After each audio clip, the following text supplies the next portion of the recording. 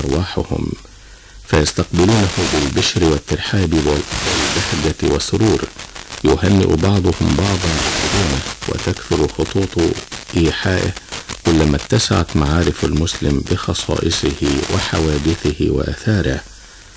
فالمسلمون الذين يفهمون رمضان ويعرفون خواصه وأحداثه يوحي إليهم برحلة إلهية ميقاتها الشهر كله يخلع المؤمن نفسه من حياة مادية مظلمة إلى حياة روحية مضيئة يخلع فيها نفسه من هموم الدنيا وإكداره إلى لذة لا يعرفها ألم وإلى سعادة لا يعرفها شقاء.